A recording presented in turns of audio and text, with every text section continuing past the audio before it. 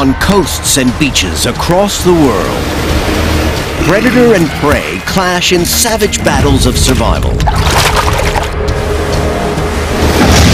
But what happens when these ruthless killers turn against each other? Animals fight tooth and claw against their own kin to win food, territory, and rights to the bloodline. In the wild, there are no rules. This is Animal Fight Night.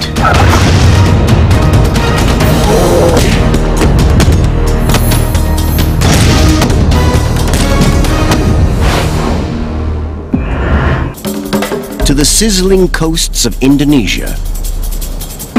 Home turf to the gnarliest fighters at Animal Fight Night.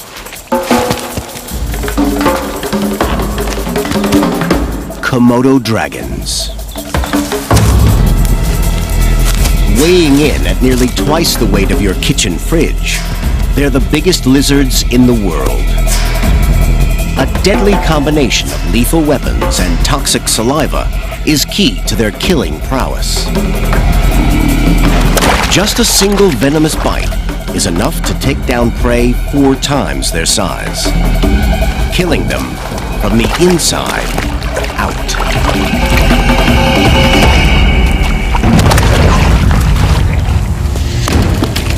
Komodos may be solitary hunters, but they're communal eaters.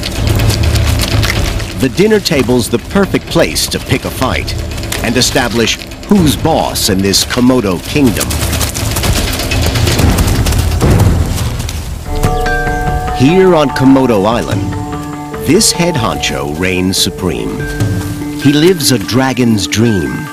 He gets the most girls, the most food, and the most respect on these coasts. To mount a serious title challenge, younger Komodos must be in their fighting prime. Confront the honcho when you're not, and you'll be savagely eaten up. One-tenth of his diet is smaller, weaker Komodos. But today's young challenger has bided his time.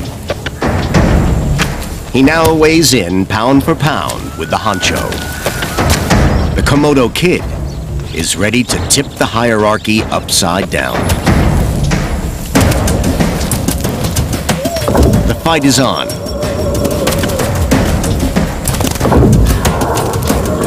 First to get pinned down, loses. The kid's got some great technique. He slams his opponent to the ground with a well-executed smackdown. But the head honcho knows how to hit back even harder. He'll fight dirty, and he's well equipped for the job. Like the tips of steak knives, each of his 60 teeth are dangerously curved and serrated. They're also entirely disposable. Komodos replace up to 200 teeth a year.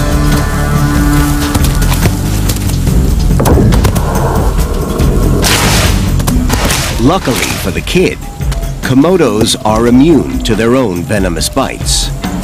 But it doesn't mean they don't hurt. Fighting through the pain, he takes a last-ditch swipe at the honcho. But his claws make no mark on scales which are reinforced with dense bone. The kid's no match for his fearsome rival.